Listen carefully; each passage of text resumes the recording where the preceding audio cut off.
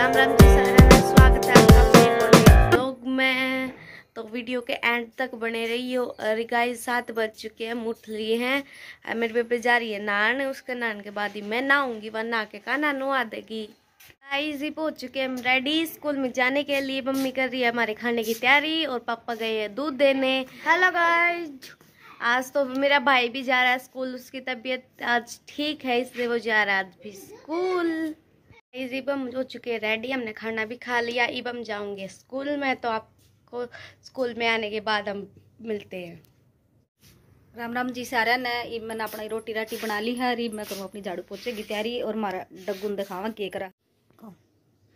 ये देखो हमारा डग्गू लग रहा है, राम तो सोन ये भी पूरा दिन सोगा, राम तो। बच्चा का पाछे उठेगा? ये बाड़ा ला दी थी मैंने कपड़े धोने की मशीन। साथ के साथ मेरे कपड़े धुजेंगे। और साथ के साथ में कर लूँगी गोबर का काम। तो जी टाइम हो गया था दस का और गर्मा गया था एक मेहमान। उन वास्ते बनाओ मैं चाय उन्हें चाय दे के फिर अपना और काम लगूँगी। लियो जी, मैं बाड़ा तैयारी करूँ मैसा नहान की।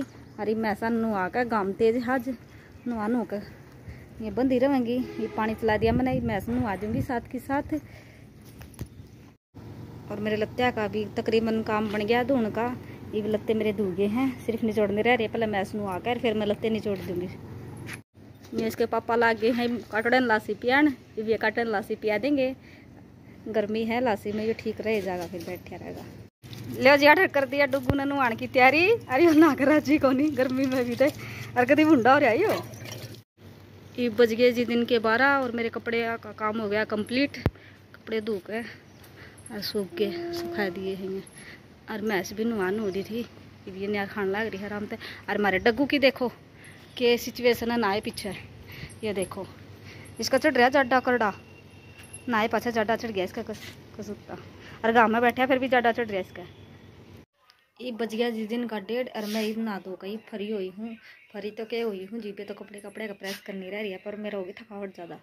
अरे बम पीवा थोड़ी चाय बना देखो। ये हमारा डग्गू आराम से बैठा नहा धो कर सूख गया भी हो डग्गू, ए डग्गू देख डग्गू देख। उतर गया तो इसका चड्डा ले जी बनकर रेडी हो गई हमारी चाय। आ जाओ जिस जिसने चाय पीनी हो, डेढ़ बजे की चाय। ये देखो जी, सारा दिन फ़ोन में लगे रहेगा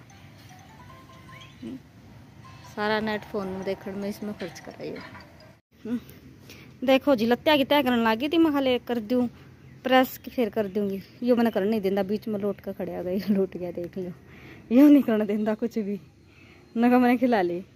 देख लियो जी, जानवर भी इंसान तक कम ना होंगे इनके स्कूल में तो आते इनके डाल डिपटेगा जो कर छोटे बालक लाड करया करे। जी हम आ चुके घर पे। हमने कपड़े बदल लिए हैं, खाना खा दिया है। अभी हम बैठे हैं, मम्मी और जाऊँगे खेत में। गाइस मम्मी और जा रही है खेत में और मैं बैठी हूँ अकेली। भाई और भी बाहर जा रहे खेलन। इस में बैठी थी मम्मी और जब तक आए नहीं खेत में तो लेट हो रहे पता नहीं क्या कर रहे हैं। हमारा डुगू आ गया बाहर तक खेल के नरीबियो दोबारा फिर बाहर जाने की सोच रहा और बैठा है दरवाज़ा। किस टाइम से खुला रहा? मैं किस टाइम से बाहर जाऊँ?